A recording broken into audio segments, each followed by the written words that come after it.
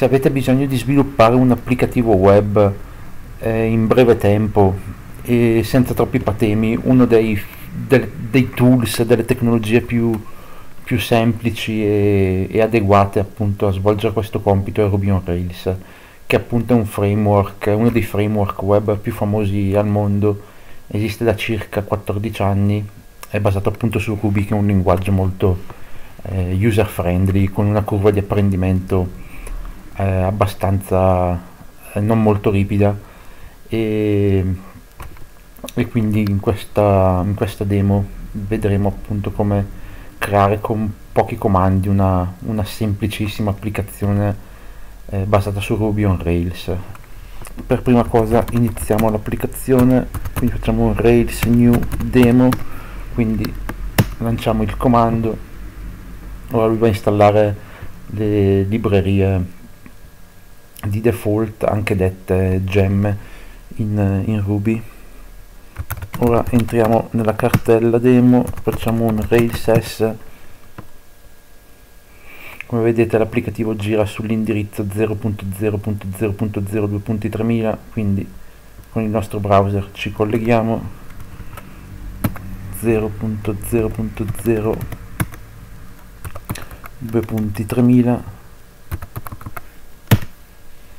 e qui abbiamo appunto il nostro applicativo in Rails in funzione.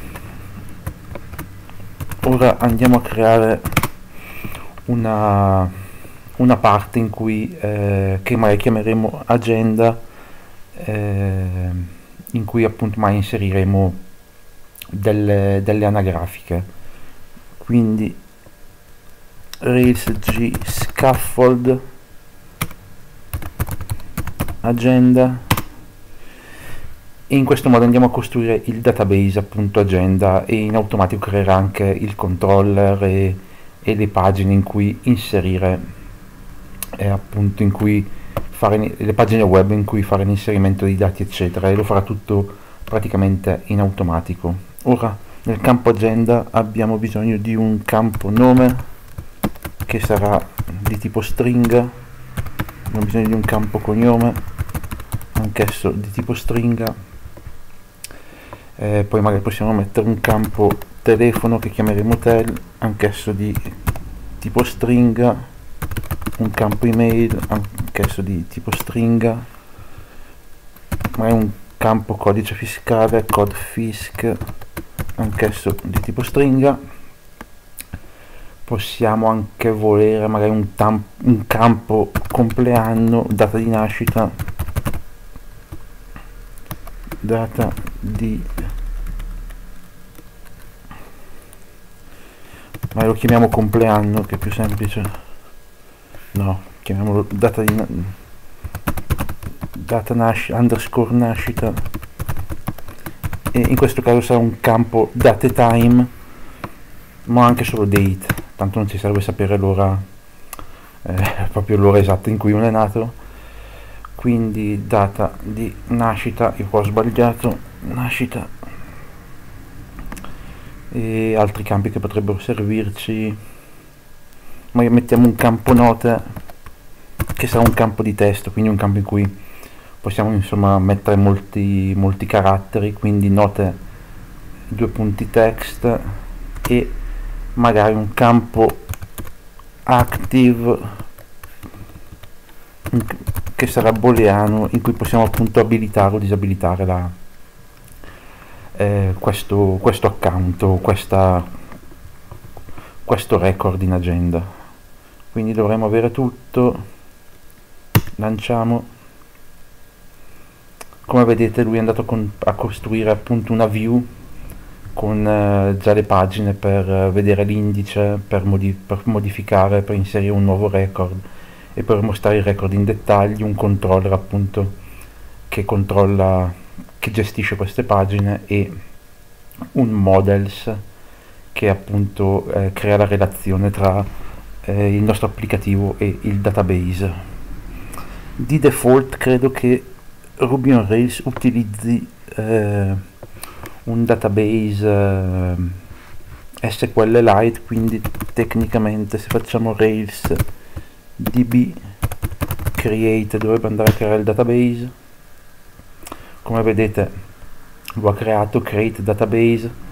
Nella nostra cartella db slash test troviamo appunto un database SQLite e ora andiamo ad effettuare la migrazione quindi rails db due migrate. Facciamo invio e dovrebbe aver creato il nostro database ora facciamo rails s rilanciamo il nostro server. Andiamo a collegarci appunto sempre qua alla porta 3000 slash agendas perché ovviamente eh, prendendo spunto all'inglese la vuole al plurale facciamo invio. E come vedete qua abbiamo un, uh, un'interfaccia web molto semplice che poi ovviamente possiamo implementare con bootstrap o, insomma abbellire. Clicchiamo su new agenda e ci escono i nostri campi compilabili.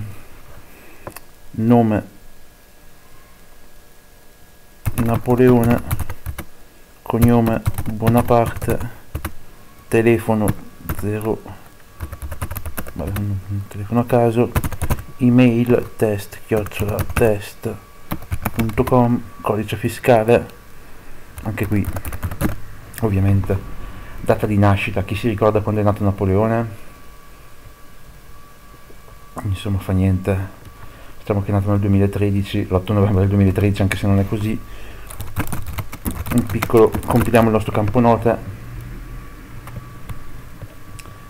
activate e crea agenda. Questa è la pagina dettaglio, torniamo e qui nella nostra tabella abbiamo appunto il nostro record. Edit, possiamo modificarlo, aggiungiamo un secondo, un secondo record, Giuseppe Garibaldi. Telefono email test chiocciola test.com codice fiscale. Attiviamo note eroe dei due mondi. Crea agenda. Torniamo e abbiamo il nostro secondo record.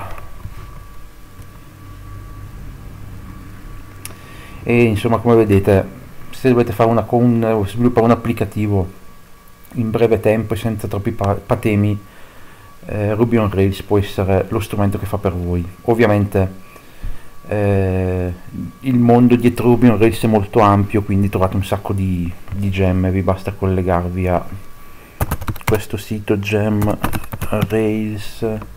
Avete questo sito Ruby Gems in cui trovate appunto un sacco di, eh, di librerie utili per sviluppare che possono incontrare qualsiasi, quasi qualsiasi tipo di richiesta insomma. Quindi raramente con Ruby on Rails eh, siete costretti a sviluppare qualcosa proprio da zero eh, qualche funzionalità eccetera da zero perché sono già buona parte sono già state sviluppate da qualcuno insomma.